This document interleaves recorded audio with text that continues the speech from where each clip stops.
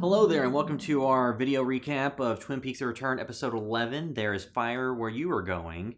I'm William, and with me is Sean. and we'll be discussing episode 11 of Twin Peaks: The Return and everything that happened in it, and kind of going back through some of the prior predictions we had that were either proven or disproven in this episode. Uh, something that was proven. The episode started off with a couple of young boys playing baseball and it was shot in a little bit weird way too because you saw like two kids and then you saw a third kid because of the way they were going back and forth Mhm.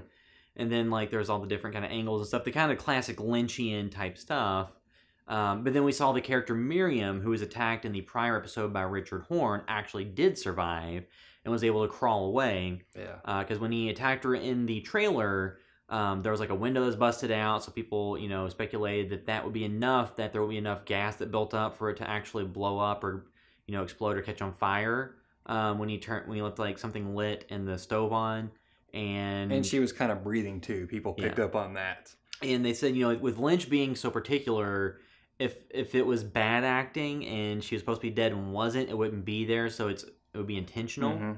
because even some of the wacky band performances that occur in the different shows or movies he's been involved in seem to be intentional. Um, just like a very, very specific thing he's going for. So Miriam's alive. Uh, we did not get to see any follow up from that throughout the rest of the episode. We didn't get to see her um, get interrogated or questioned by the police. Some, somebody mentioned, what if Chad is the one that responds? Uh, Yeah, which could be very bad. That's working Um, with um, Richard Horne. But uh, but also too, like the letter thing. Like if the letter was sent on that day, chances are it wouldn't have been delivered that day. Yeah. You know, so it's like it, it might be a series of, of him them them both being incompetent um, Yeah. as far as that situation goes. But one thing about Miriam, um, her left eye was messed up. yeah. and like I saw some people point out that, um, uh, you know, we had Nadine, um, her eye, and then the the body, Yeah. um, the female head, that left eye was gone as well. Yeah. Um, so everybody's kind of thinking, okay, there's something to do with le- the left eye, and there was there's something along the lines of um, I think spiritualism and I don't know surrealism, but I didn't look into it enough because I was started touching on it and then started reading about other stuff, and of course Yeah. forgot. But uh, something else I kind of thought about too was Jacoby. He has two different colored eyes, and somebody the blue and red. yeah, somebody said in the Secret History of Twin Peaks, um, he s- said it was like an experiment he was doing yeah. to kind of uh, enhance, I guess, the left side of the brain and the right side of the brain to work together better yeah. to see, uh, I guess, reality more clearly or whatever. And apparently, Nadine, he was going to do that experiment with her, Yeah. but um, you know, she had her accident. yeah. Uh, and then two, there's like One Eye Jacks. Yeah. Um, and then there's another. Somebody shared a GIF of Ben Horne doing this with his left eye. Yeah. I don't know if you, you remember something like that. Yeah. Yeah. Yeah. Yeah. Uh, so there's something with that, and and could that be that like the left eye, or you know, is that is that maybe like um, the woman who had the missing left eye? Was that a did she like glimpse you know the uh, spiritual world or the lodge or something, and that's why her eye was taken? Um, Nadine, is she suddenly have like even stronger power? You know what I mean? Is Yeah. she kind of not? She was like out of sorts on reality, and is that because it has something to do with an alternate um, reality with her eye now or something? So Yeah, because we never saw Nadine before the accident with her eye. We only saw like the, you know, the show started, you know, supposedly years after that happened. And two, that's one of the things where the show and Secret History of Twin Peaks, the book, gave different accounts of how Nadine lost her eye, um, which was interesting. So it's like, which is the canonical version? Because it's obviously something that's being done on purpose to give you a different version. and and her character, you know, as soon as you know when we saw her in the series, I think from the start, you know, she's complaining about you know uh, Big Ed like you know hanging drapes or doing something, yeah. and and that's very much how uh, season three Sheriff Truman, um, how his wife comes in at first, and Yeah. she's the same type of um, kind of nagging personality, but then we find out there's a reason behind that. Yeah. So it's like, you know, was there something behind Nadine before and that totally changed her personality? yeah. Um, There's all the stuff that goes on with her, like being stuck in like the Did- teenage mode during did, the original did- run. Wait, did Big Ed, didn't he accidentally shoot her eye out? Yeah, so the the story, at least from the show, was Mhm. that they're Yeah. hunting. and He accidentally shot her eye out. Um, so I mean, I think like I said, the secret with Twin Peaks. I'm blanking on now what it was, but the description there was a little bit different. Huh. And Interesting. there's like one or two other things like that too, where Did- it's yeah, I mean, is that like an almost an alternate alternate reality, or you know what I mean, like something else? Because um, that book obviously was detailed all of the stuff about the lodges and everything. Yeah, so that's something to go back and look into. I mean, I don't know if it plays any significance in anything Yeah. so far, but um, then we also see where Becky, uh, the character played by Amanda Seyfried, um, is on the phone with somebody about Steven or Steve, her husband, or whatever, and then she goes. Uh, she has a gun, and then she calls her mom Shelly to come get her, and then she goes kind of crazy and kind of steals her car, and then Shelly jumps in the hood and Throws she her throws off. her off, and then goes off. I was like, oh God, please don't let Shelly die. At that moment, I was like, oh no, like that was actually a pretty tenseful moment, even though it was, you know, kind of ridiculous and funny in certain ways too. Well, it was very melodramatic in typical typical Lynch Yes, fashion, yes, but at the yeah. same time, there was real danger for a character that you had the connection to from the original show, and then who you know, so you automatically have connection on this show. And you feel like you're just now starting to see more of her now. You Yeah, know, you just with that scene much. alone, you're like, okay, great, we're getting some good Shelly. And I'm like, are they gonna kill her off now? like, yeah, so then you know she gets a ride from Carl at the Fat Trout with his park. with his magical whistle, With which his was whistle. Uh, incredible. Somebody pointed out too, he is almost always there, or he has been when tragedy strikes. Yeah. and he's almost like a a good force of the White Lodge, maybe. You know, not literally, but as far as he's always like consoles people and well, stuff. if there was like a light side and dark side, he's light side Yes. aligned. Yeah, And um, yeah, so then Becky goes to the goes to this um, apartment complex. apartment complex and uh, knocks on the door, and a woman tells her nobody's there, so she shoots the door, and that was at Gersten Hayward's apartment. So she was the younger sister of Donna Hayward, and seeing seeing her again. So she was with Becky's husband, Yeah, Steven. There's just like a quick shot of them like looking up, listening. Somebody said too, the woman who answered apparently was somebody in the love boat. I don't you know, it's like So you so you have Becky kind of going off the deep end and shooting a door, and then you have a scene with her at the diner, um, sitting on the same side of the sitting on the same side of the booth as her mom, as Shelly. So we do get verification that she is the Mhm. daughter of Shelly and Bobby, and then Bobby shows up because on like Carl when he uses the magic whistle and gets the van, takes Shelly back to the diner, and on the way there uses like a CB to call the police dispatch and to tell that he has Shelly Briggs with them, and they get a hold of Bobby.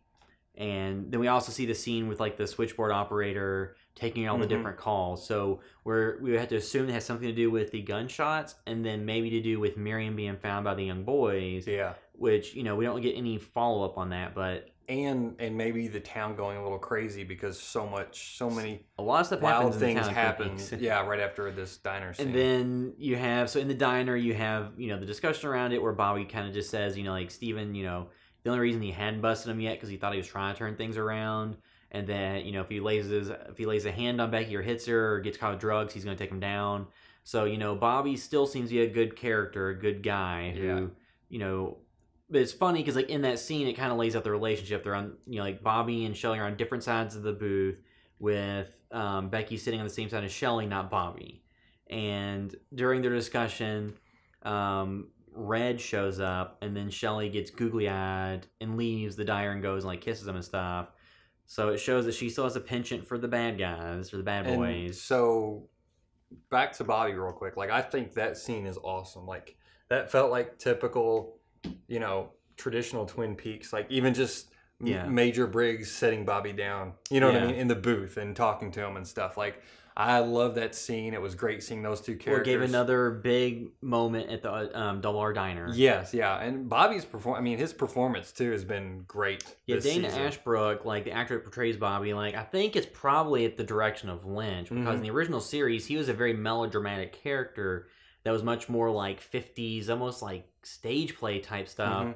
compared to the other people that gave more, you know, television or film oriented performances.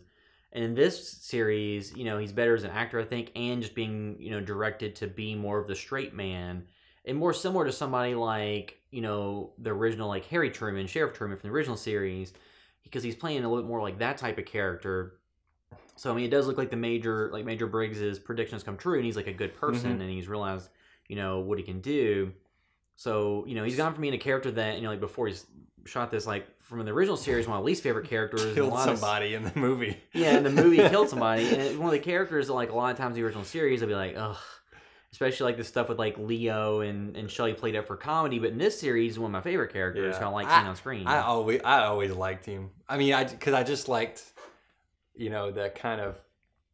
a- Anytime there was a scene involved with him, it was like he was a lot of times pissed off. He had a lot of energy, you know, in that series. Like whether or not you know he was like annoying or whatever, like he was always just well, like him and uh him and Mike barking at um James. yeah, yeah. So there's a lot of stuff like with him in the original series. Like this in this version of the series, he's been a character that's you know a force for good. Mhm. and that a character that anytime I see him on screen, I get excited because Yeah. I like to see where his arc is going. So you get you get confirmation of Becky's you know parentage. Um, so the red stuff too. I think he kind of points at her, and I don't remember. Did um, Miss Tremond did that? Did her grandson? Does he point at somebody? Does he point at Leland Palmer and Fire Walk with Me? I don't know. I I, don't remember. I don't know. But anyway, um, so you know we don't know who Red is yet. He does some magical stuff. Yeah, with Richard Um, Horne, he's involved in the drug trade. Yeah. Um, you know, I think people have brought up like, oh, is it Miss Tremond's grandson possibly? You know, that that younger um, boy that was played by I think Riley Lynch, David Lynch's son in the original series, a different kid yeah. in the movie. Um, so I was kind of looking up, I think more about uh, Miss Tremond's grandson too. And do you remember the scene in Firewalk with Me whenever Leland Palmer backs out of? Uh, let me find my notes real quick. He had that date set up with um, Teresa Banks, and then he saw Laura and Ronette in the hotel. uh, vaguely. So anyway, he sets up like a date, basically. You know, yeah, um, that's when he's you know gonna go with them or something, and he he backs out of it because he sees Laura, and he's leaving the hotel complex, and then Miss Tremond's grandson comes out, and he's wearing that mask like the jumping man. It's a little bit like that, and he's jumping around the parking lot. Um, this may be totally unconnected, but uh, Miss Tremond and her grandson used a fake name or a different name in the trailer park from Firewalk Yeah. with Me because they used to live there, you know. yeah. Um, well, I happened to just notice that the the um, the hotel, the motel that Leland was at was called Red Diamond City Motel. yeah. So could this be Miss Tremond's grandson taking on another name, kind of another identity too, because they did that before, you know? Yeah. And he had that magical powers, kind of the the grandson did, and they Yeah. said like he practices magic or whatever, you know. Um, Yeah, so. 'cause- I could see that's possibly like the age you know, stuff, but like if it's like to do with magic or whatever. yeah, and they were they were agents of the lot Black Lodge, I think, or Yeah. whatever. So it's like um, he could take on another form or something like that. But that was just something I was looking at the, the grandson, and I happened to notice like, oh, he was in that scene, and it was the red, um, whatever, red, red Diamond City Motel, and I thought that was really interesting Yeah. that that just happened to be in the Wikipedia, and his name is just Red, like, yeah. and they've and they've used other identities before. Um, so that was like one thing that pointed out. And like, does he have a spell on Shelly, or is it just well, her going for the bad boys again and not, you know, not kind of knowing what, knowing that it's a bad decision. You know, Norma, she al- already still seems like that. She's almost a child because she calls Norma first and is like, Norma, what should I do? yeah. whenever Becky runs away. Um, so is it the fact that yeah she's making bad decisions still, and that's just kind of her fate, or is it the fact that maybe he's kind of got a spell on her or something? You know? Yeah, I mean, it could also be involved with the drugs somewhat because we don't know, like, the drugs being peddled. Like, do they have a connection to the lodge? Is there mu- more to it than just being a drug? And, and like this is not. I'm not trying to be critical at all, but sh- and this I don't know how she looks in other series. I haven't seen her in Riverdale or anything, but I mean she has bags under her eyes. yeah, Is that intentional? Is that just you know an age thing, um, Um, or or do they leave that there to kind of maybe she still is into drugs a little bit? You know, I don't know. Um, because like I saw, she was on American Horror Story Hotel, Mhm. I think. Terrible show. Hate, hated that season. Um, but I just watched it just as a masochist and discuss- discussing our our podcast. But I mean, I think she looked good there. I mean, I think she looks good here. Yeah, I think she does too, but I just noticed she has bags under her eyes, and it may just be an I mean, age thing, It but could be too like that she's working like the diner and has Yeah. like, progressed in life. but or also could it be drugs a little bit? yeah, you know so what I mean? Don't really have any more to go on than just idle speculation. I, But I wouldn't have brought that up if it wouldn't have been for possibly, you know, Red obviously is involved in the drug trade, but yeah. she's like smitten with him, like Yeah. she was when she ran away with Bobby To in the- opening scene to of the the first annoyance episode. Mm-hmm. of Bobby and Becky, seemingly. Um, then you have like the gunshot that goes through the window, which is like a young boy where there was a gun in the car, and the young boy like set it off, and it goes through the windshield of their car and through the Double R Diner.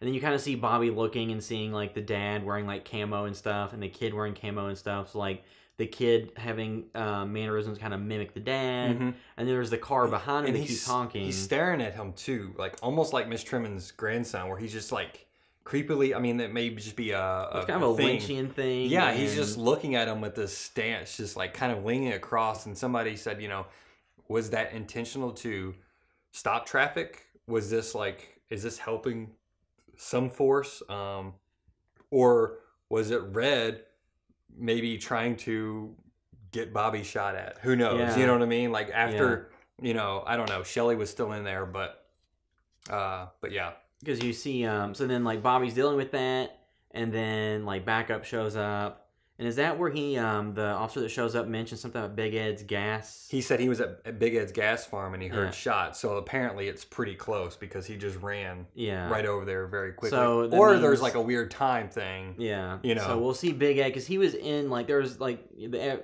everett mcgill or the actor that played big ed was in some of the promo stuff so i'm And- assuming he'll show And up And I've seen somebody already post. I don't dig into IMDb, but they post it. Oh, it says he's going to be in this episode. You know what Yeah. I mean? So we don't have, you know, we're over halfway done now, but uh, episode 11 of 18 but but yeah. So the lady is freaking out uh, in honking the car. screaming, saying, you know, she's honking the whole time, and she actually is in a wreck. So it's not like she's just stuck in traffic. So that's your first clue, and she does not stop. Um, and so she's freaking out, and she says, "We have to get home to dinner." Um, his uncle's there; he hasn't seen him in a long time, or she hasn't seen him in a long time. Um, and then the little girl like starts vomiting vomiting up this black kind almost of in a zombie Yeah. looking Yeah, that definitely made me say, "What the hell?" And normally I'm pretty composed because we see so many weird things in Yeah. the series. Like I looked at my wife and was like, "What in the hell was that?" and then like bobby's just kind of looking and the woman's screaming Yes. Um, so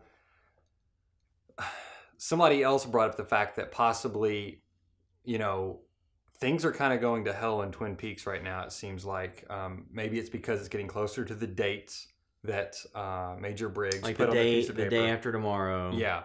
Um, and two, uh, you know, I, I don't know. It seems like a lot of things are converging right now. Um, but were they trying to get to some place? Are, are are there people in Twin Peaks being drawn kind of um, to the Black Lodge or to to these places? Or is it like uh, Ghostbusters 2 where the negativity of the town Yes, is exactly. feeding into the negative energy and giving power to the Yeah. dark forces? Exactly. Um, so, uh, so I heard a thought that possibly that the gunshot was actually a way to stop traffic and to kind of stop some of those things from happening. I don't know, but anyway, she says something along the lines of, "We have to get you know to dinner on time," and which also kind of maybe calls back to the text that Mr. C sent and that Diane got from Mexico or whatever that said the conversation around the dinner table is lively. Yeah. Um, so that maybe links to maybe the lodge. Um, you know, it's a lot of weird stuff is happening now. Obviously, we're going to get some answers that may not be spelled out all the way, but it sounds like the there's a book description now of the final dossier, yeah. um, and it sounds like that is going to give a more clear um, explanation of some of these things, which I think Yeah. is a good way to handle it because Mark Frost obviously seems like the guy who is orchestrating a lot of the uh, nuts and bolts of, you know what I mean, the uh, kind of Well, the procedural aspect of the show and Yes. more of the traditional storytelling. and Lynch maybe is interested in that, but not always wanting to go wanting to tackle it head on. So it's a good balance as far as like Lynch can handle the show Yeah. and leave things obscure and still have a reason behind them and not seem like it's totally just thrown together. so. Lynch has episode eight, and then Frost has some of these more. even though like a lot of them are like written directed by David Lynch, Yeah. like you you have to figure that that Frost has a hand in it too, because some of the more because if it was just pure unadulterated heroin Lynch, you might get something more like Inland Empire, where there's not much narrative structure at all, as opposed to this show, and it, even episode eight provided narrative purpose. That's not that hard to see how it plays into some of the elements. Now, some of the stuff is still unknown. Yeah, and it may like Lynch may leave that unknown, even though there's a reason. But then Frost will have a an outlet to explain those things in Yeah. that book. You know what I mean? Which is could make it all more interesting. Yeah. So then the next thing we get, like a big thing we get, is when you have um, Gordon Cole, Albert, Tammy, and Diane go with Hastings, that one detective, to where Hastings uh, met Briggs, and Gordon kind of gets to see like into this vortex and sees the woodsman, uh, and you see a woodsman kind of sneaking around the periph- the periphery of the the area they're at. Uh, and then the woodsman is able to sneak up. Diane sees the woodsman and doesn't really do anything to stop it or warn anyone. And he crushes in Hastings' head. Um, but while they're doing that, you know, Albert's able to pull Gordon back before anything happens Mhm. with him looking into the vortex. And Diane also sees another woodsman. Um, and it was also pointed out that so when Cole and Albert see the one woodsman walk kind of from the back of the building, like by a storage container and disappear, um, they say something like, "There's one over there." We don't know if it's there's. They mean they know there's a vortex there because they say woodsman, or they're just saying, "Hey, there's a Yeah. woodsman," you know. But anyway, they start doing the vortex stuff. Uh, it was also pointed out that Albert's hands um, move um, in a very odd way, an unnatural way. Somebody kind of like zoomed in, Yeah. and it seemed like it was on a loop where Albert's jacket, because the way Albert moves, it's like a loop, yeah. but like it's almost like it's an anima- animated arms. Yeah. Not, you know, that could be just oh they want it to change things or whatever. Well, like when you watch Um, this show, it's really hard sometimes to know, like, because I've been watching it streaming on the app. I don't actually have cable, so it's like, okay, is this like a connectivity issue or is it like a feature of the show? Yeah, yeah. When there's stuff that happens with motion or things that could be stuttering in the video image. Um, so they see the woodsman before that. They see the woodsman go from like behind that building to the storage unit. Yeah. And Diane also sees one um, that does the same thing. Uh, some people pointed out that what she sees is it seemingly on the other side of the building, but what it really is, it's a mirror image of that same scene. yeah. So it is flipped, and the container is actually also color corrected a darker blue. Um, so that like opens up things like is Diane a doppel Diane? Is she seeing Yeah. a mirror version of the world? Because we see a shot of her, and then we do the um, you know the Hitchcock like okay we see her reaction, and then we see her point of view, and her point of view is in fact mirrored. Yeah. Um, so because there's like speculation that like Gordon with like the smoking thing is doing a test because she might be a doppel Diane. Um, and something else about that too, somebody brought up that Major Briggs was always, um, uh, always on Bobby saying you must not smoke. Yeah. So does he know something about smoking Yeah. and the lodges, which is also like there's so many awesome things about this Yeah. show that like even if you never hear that there's any confirmation, like there's so much like world building Well, in, in this the show, Gordon stopped smoking. Yeah, exactly. Yeah. And so you have that, and then um, and then too. So Gordon and Albert find the body of Ruth, who had the coordinates written on her arm that Albert takes a picture of. Um, so you, they find that body, and then William Hastings gets his head blown up, and like the funniest and then Gordon Cole. like it's probably one of the funniest moments in the series. His Like you pro- know, top twenty Yeah. because there's a lot, but maybe top ten. He just looks and he's like, he's dead. Yeah, so it's one of those things too where Gordon seems to in that scene have almost no hearing issues whatsoever, and and which is interesting to see like how much he plays it up and, Yeah. and things like that. But yeah, but when he walked up and saw the exploded head of Hastings, and he's like, he's dead. Like like he's just pointing out what everybody obviously knows. I don't know. It's just so, And, he like, has like kind an of tone- about it, and his like almost tone deaf Yes, like yeah. speech delivery. like so- just so everybody knows, he is he's in fact dead. So you have like him, you have like some some stuff with Albert that's been pure comedy gold. Yes. about like Gene Kelly and all that stuff. So you have all that stuff. Um, but then like you know, not to get too far out of chronological order, but like later when they're back at the detective station and they're sitting there and they get coffee and donuts and they have Diane in the room. Um, and then the other detective comes back and, and Diane seems really anxious, really nervous, and really looking to smoke and doesn't really seem to be able to, you know, she's very impatient about it. Uh, and then Albert shows Gordon a picture that has the coordinates Mhm. on the arm, and he notices Diane looking. And my interpretation of the scene was based on the prior episodes. They discussed like they got the text message logs that were going to Diane, so she's coordinating with somebody. Like I think that Gordon and Albert were onto her and very suspicious. So I'm thinking those are false coordinates that point to some location they're going to monitor and then see who shows up. Yeah, is it a trap? I mean, because too, this show isn't, you know, the way they handle the show. Some TV shows or media, they will let the characters do some dumb things Yeah. just for uh, Just for story. just for story purposes to get from point A to point B e- more easily. And this, they don't take those easy routes. You know what I mean? They Yeah. always their characters are if they need to be smart, they're very smart. And so it's it's not like they're just doing this and like, oh, what is she looking at? And they're just gonna like let that happen. Like, Well, since they were already suspicious Yes, of her because yeah. of the text messages and just gen- in general, and then you have the element of he noticed her looking, I would have to think those were not the real coordinates. So it's either false coordinates so they can then see who she's communicating with, or maybe it is the real coordinates and they just are gonna once again just have it monitored and see where. I would think it'd be false because I think they would understand the danger of what they're dealing with, or at least Gordon should.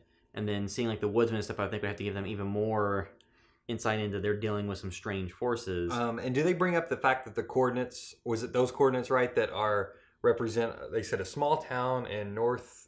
Uh, And west cut- and, and then it cuts, cuts out. off, Yeah, so- so, northwestern Washington, maybe you know, it's Yeah. Twin Peaks probably. And then yes, you have that. So they they don't tell you exactly what the location is, and they could be false coordinates. I'm sure somebody's already looked up based on the picture what the coordinates are, which I did not do because I'm lazy and was tired. But um, but then you also get the conversation that's happening with Hawk and Truman, and they have um, Truman was just looking on the computer and just did a search of the coordinates that they got from the pieces of paper from that from the message from Major Briggs and said that you know he had found like on the map where the location when he said there's no roads that go there.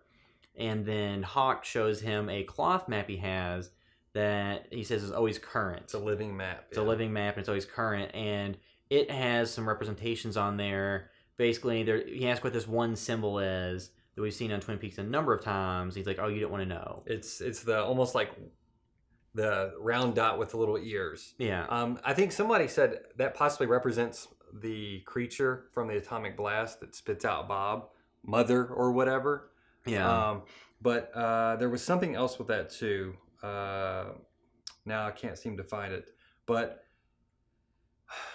um, somebody said that somebody drew the point of whenever uh, David Bowie, David Bowie's character, what is his name? Philip Jeffries. Philip Jeffries comes back on Firewalk with me.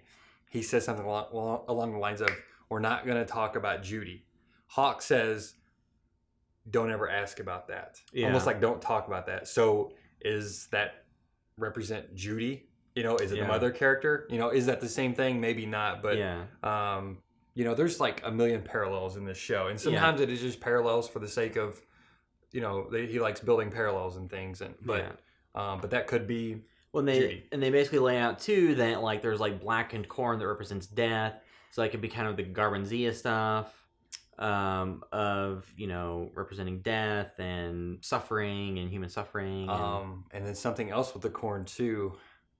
Somebody else with a keen eye point out that there's like a hand symbol there, yeah, and I think the hand means like um, essentially uh, wounded or, or killed or something. yeah, Um, and if you like, you know, remember in grade school to make turkeys, you drew hands a lot of Yeah. times.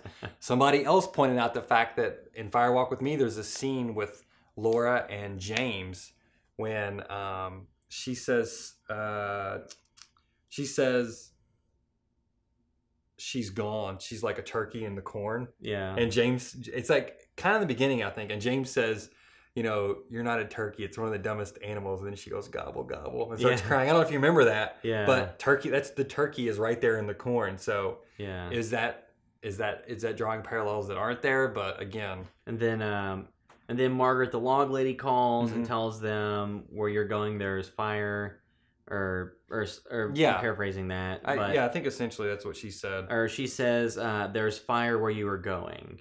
So it sounds like they're gonna be going into the Black Lodge. Yeah, is fire And- the activity? You know, You know, are they gonna firewalk Yeah, with me?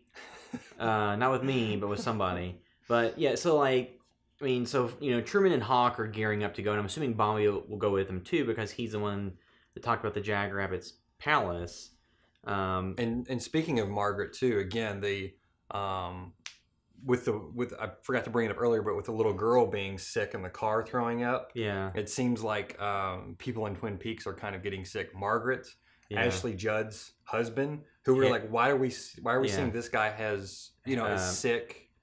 Um, Sheriff Harry and then, Truman. and then Sher- yeah, and then uh, Harry Truman. So there is a sickness coming over Twin Peaks, and it, if all that is related to even that little kid, it seems like it is getting much worse as we're getting closer to this date, possibly. Yeah, so you so you get the stuff with like the map, and you know they're kind of gearing up to go there, and they talk about there's no roads, so you know they're going to be right in the heart of it, and you know that just harkens back to early on in the original series when Cooper said if he ever went went missing, he'd want Hawk to be one that they sent to find him. Mhm. So that's going to come full circle, and hopefully, and then like um like the log lady Margaret said her log was afraid of fire or didn't like fire, so that because you know like her the the her husband who passed away in a fire spirit supposedly is like in the log or involved with the log or whatever. So that that all just ties back into stuff. So you know if you read the Secret History of Twin Peaks, then she has connections to the woods and different things going back years. So you know a very important character in that Mhm. universe who's much more serious now than I think her original appearances on the TV show were in like season one, where she you know tells Cooper their log has a message and stuff like that. So she's played much more serious, and Hawk reveres her, and you know uh, tells her like, "Oh, I should have called and told you that I found with the clues that you gave me, like found information." So And then, and for some reason too, the officer that was at the scene that said, "Oh, I was at Big Ed's gas farm. I heard shots." He pops in too. until It says- tries to tell um, Truman about his new car. Yeah, somebody said they they thought that he reminded him of kind of Jack Nance and a little bit of his delivery, and it's like you know just bringing up odd stuff. Yeah. Uh, I don't know, but yeah, I don't know necessarily what is There's a what is up with that. Somebody said, oh, it's you know there's a time there's a, some time differences going on or whatever, um, but they kind of laid out that it's later in the afternoon because we had that scene in between of. I guess that scene in between was the daytime, but anyway, it's maybe it's just later on. But then again, like if Big Ed's gas farm isn't right there and he heard gunshots, like is there? There's just something weird about that. You know what I mean? There's weird. It's weird that he was placed in both those scenes, and seemingly uh, not essential to giving you any information you had to know. Yeah. You know, he didn't really play an important role in those scenes. No, I mean like in the station, he literally just kind of interrupted for a second. And, and when he helps Bobby, but he's just like, "Oh, just take care of that." Like, Yeah. you know what I mean? Like that. Bobby just doesn't want to do. yeah, it, it didn't really change the course of Bobby's actions or any information we were given at that point of time. So Yeah. It's very interesting. Those were nearly back to back there um, with that same character in kind of odd uh, situations when, yeah. Yeah. it's weird. And then we also get some other stuff. So there's like the Dougie Cooper stuff where Cooper or Dougie, um, his boss, um, tells him that, you know, there was a mix up and he was able to uncover that they're actually something that the Mitchums, like a fire was listed as an arson, but it actually wasn't. It was an accident. So their insurance policy will pay out. They had an insurance policy taken out against that policy, so they get paid out too. So it's not going to bankrupt them to pay out this $30 million policy. Um, Do you think he found out about the extra policy and then thought, oh, maybe we'll just take advantage of this? You know what I mean? Like, Yeah. could that have been the only thing that turned him, or is he turned because he's talked to them and there's Yes, threats? so there's, or- it's unclear. Well, it's funny too because like when he gets when Dougie gets called into his office, the um the one like assistant in the office like has the coffee that Yes. he's following, yeah. and that's Well, that's what I thought. I saw Dougie like hauling ass outside the window. I'm like, Yeah. oh, is he like more normal now? No, he's got but then I saw him. Yeah, he was like, so there's the coffee thing. So then he gets um, then you see the Mitchum brothers. And they're talking about how, like, um, I believe it's Bradley Mitchum is the um, Jim Belushi. Jim Belushi character, and they're talking like how he can't even he can he can't even wait to kill Dougie, and and he had a dream about killing him. and he had a dream about it, Um, and then there, there's a long scene too of his brother eating cereal. yeah, Somebody pointed out that he's eating something like corn pops or Captain Crunch or something, which is corn based Yeah. cereal. And uh, Belushi said he couldn't even eat, and his was like raisin bran, which I maybe is still corn. I guess it would be like flakes. But anyway, there was like something. Yeah. You know, it was they obviously hung on his brother eating cereal. Well, they had while. like the name brand cereals too, which is Yeah. interesting that it's not. So it's for a specific purpose. and and Lynch. I- I watched a video recently, and it's like maybe like a 10 second video, and it's somebody asking Lynch like, you know, what are your thoughts on um, product placement and stuff? And he basically just says, you know, fuck it or something like that. He's like, I, I you know, I fucking hate it or something along those lines. So it doesn't seem like I don't think it, like I don't think that was a product place. I think it was more Yeah. of a using brands people Yeah. are aware of to just to show you different personality traits between the Yeah. characters and uh, and a hint at other things. Um, so then Dougie, before he gets in the limo to go meet the Mitchum brothers to give them the check, which is odd that they wouldn't tell them they had good news beforehand. They just kind of the boss kind of sent Dougie with the check and made the assumption that it wasn't the Mitchum brothers because it wasn't an arson, so that they weren't involved in the assassination Mhm. attempts on his life. Um, but he also doesn't know about the Mr. Jackpots stuff. Yeah. But um, and he easily wrote it off like, "Oh, it's not them. They're not involved at all." Like, yeah, Yeah. that whole thing is weird because he was so much on the defensive of Dougie in the police station and So, stuff like that. You know, he does- seemed like he's always been in his corner. is there more going on behind the scenes with him? Is did he get the money signs in his eyes when he saw the insurance policy? Like who knows? We'll probably find out more.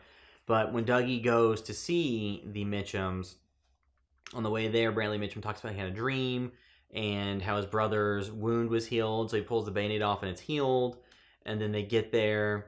Um, and then when the limo gets there, Dougie, and they have like the Leaving Las Vegas, that's like a rendition is playing as Dougie's in a limo. Yes, yeah. And he got the box. He went into some store and got a box because he saw the one armed man, um, uh, sh- like beckoning him to the shop. So he had this box when he got in the car. You don't know what's in the box, and the scene like there's a later. It kind of plays at like seven, like what's in the box. yes, yeah. But it was and, and you're waiting to figure out like, what does Dougie have?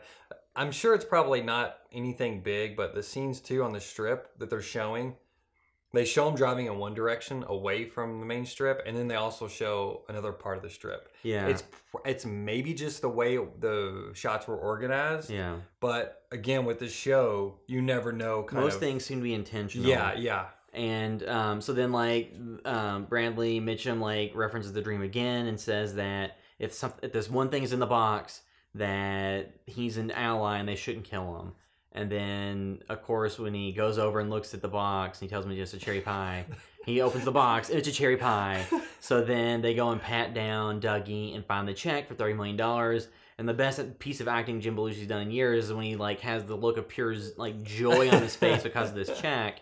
He's kind of like dancing around a little bit. I'm trying to come back around on Jim Belushi So because then- according to Jim, yeah. was rough, man. I did not like when that show happened to be on the TV, but you know, I've tried to give him a chance on this, and Yeah. he has not. You know, he is he has not done. He's not made one misstep on this show Yeah. to make me like, you know, take back giving him any chances. Well, it's kind of yeah. Like, he's kind of like this aloof, like wants to kill him super bad, but he had this dream, Yeah. and dreams are a big important part of Twin Peaks. So then you you know you have where they realize that Dougie's like an ally, and then you know you don't have the what's in the box end with a killing. It ends with a friendship, and they take him to a restaurant um, and have him you know served all kinds of cherry pie, and then they have the girls come in, including Candy, who still is acting off. And, And she um, says there's a lot of traffic on the strip, just Yeah. so many cars. Um, and she also kind of stares off in the, uh, in an odd direction. yeah, that you know I don't know if Cooper does or not, but it very much like you know Dougie Cooper Yeah. like um kind of mannerisms and stuff and, Yeah. and aloofness, but at the like same time, not at people yeah, to the but at the same time, she seemed like she's cute. She's like a little bit more advanced than he is. yeah, she Um, has a little bit more awareness than him. Uh, so yeah, the cherry pie saved Coop's life. Somebody else again pointed out that the shop he went in was I don't know the name of it. It's apparently the name of a singer who had passed away or, or a, a musical artist, um, but it's that's the name of the the store that the one armed man waved him into. yeah, and it's like got two Z's.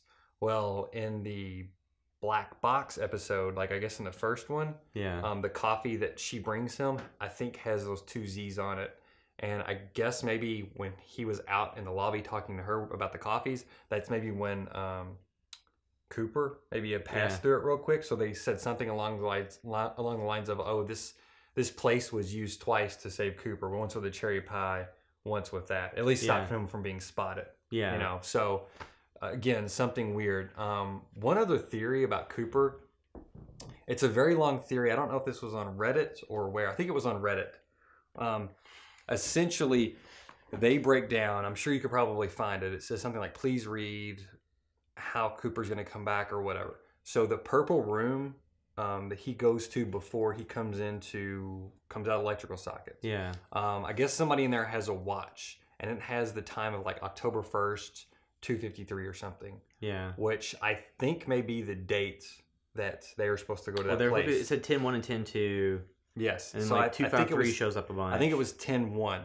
but in the timeline of the show, they had like backdated it, and it was like the uh, uh, September twenty sixth or something along the Yeah. twenty sixteen. Um, there, this theory, a lot of things get explained, but essentially, it is that um, he has split off, and and and maybe that we're seeing some of those scenes later. Anyway, he has split off his mind because his mind and where he was at was in the future. He has split off in the past. So when he catches up to that date, his Yeah. mind will catch, his body will catch up to where his mind is. Yeah. Which his mind didn't go back to five or six days. Only his physical form did. yeah. So he may catch back up, and that's when he'll snap out of it at that time. yeah. So it could be at the time that he goes into the lodge, or that they go into the lodge, and maybe he snaps out. Somebody else, uh, I think part of the same theory is that they will go into the lodge at that time, Yeah. and when they go in, that is what time it is in the lodge. That is right after Cooper leaves to go out of electrical sockets. Yeah. But he left behind his shoes and his pen.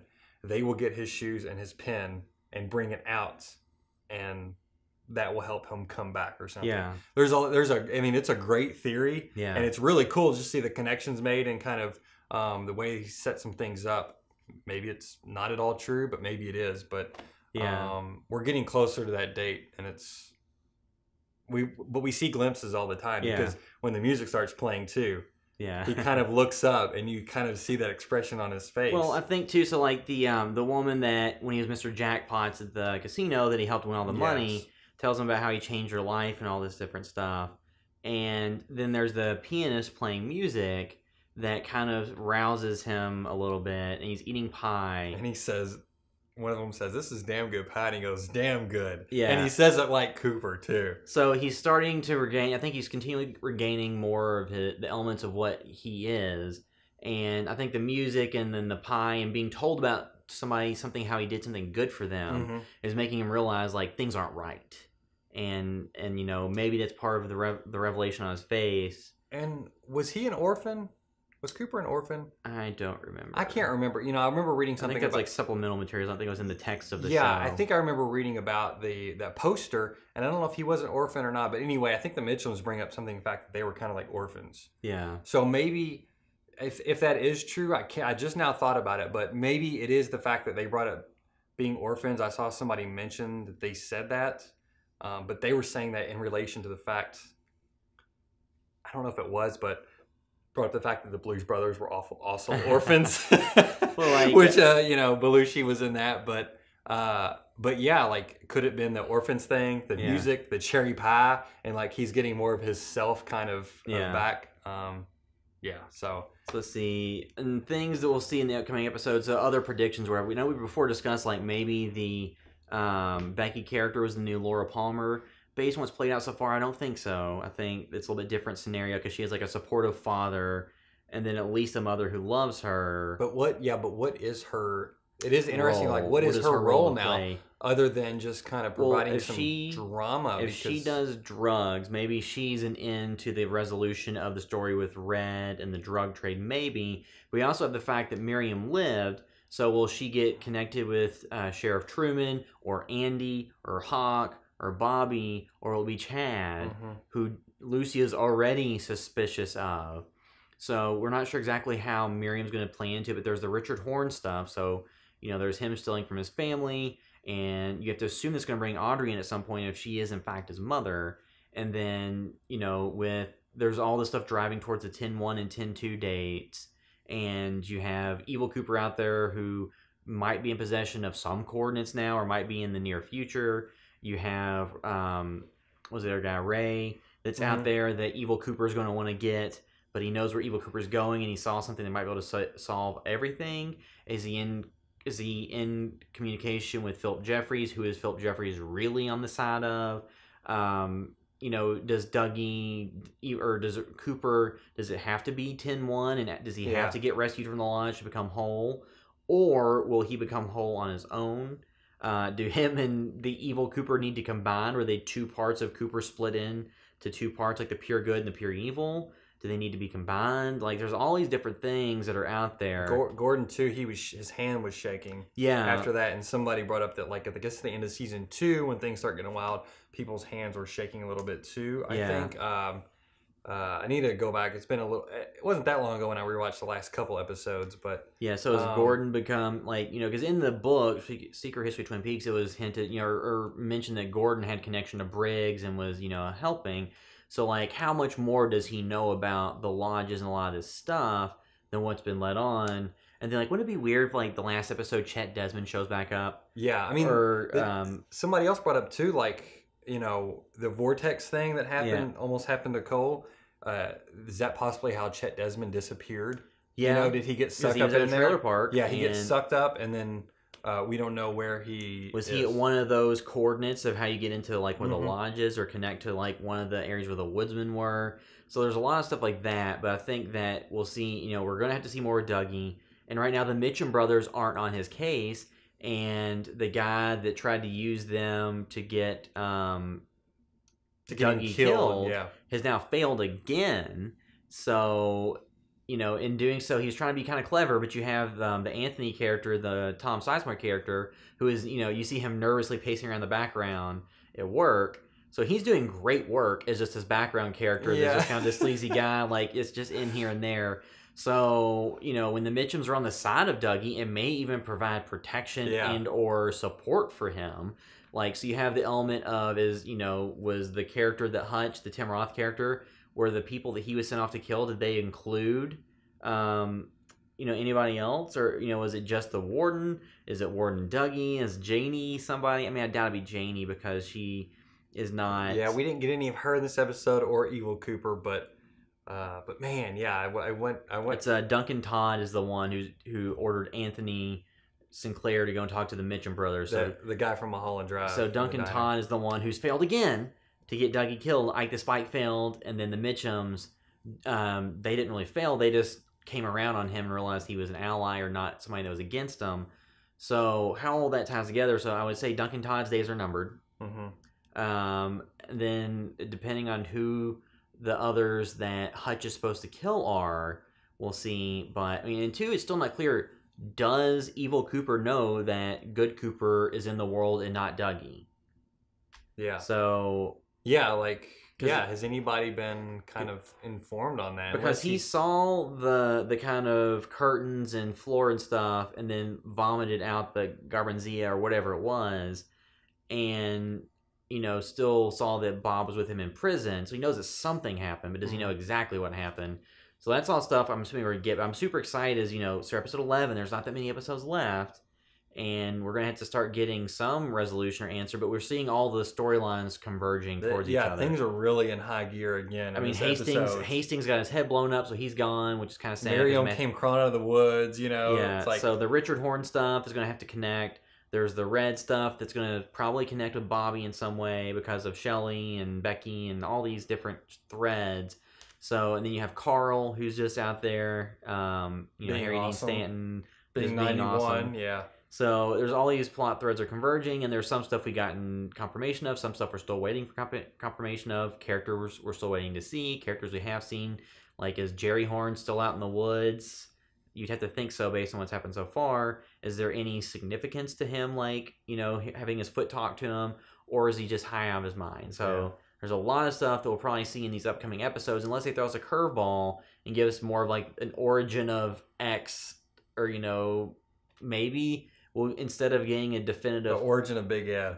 maybe maybe the finale instead of getting like a narrative like you know more procedural type thing the more standard storytelling the the last episode is more obscure like that and gives you answers through imagery yeah. and you know little vignettes of story intermixed with very little dialog Mhm. so we'll have to Which would be a a really cool way to a go. very out, Lynchian way to do it Yeah, we'll get go big with it. will we get like so we're on episode episode 11 just aired when do you think we'll see the real cooper If it's two days from now, uh, I th- some people are theorizing that this week was going to be October first in the show. yeah So, um, you know, I don't know. It seems like, like, they're probably going to go in the lodge within two episodes.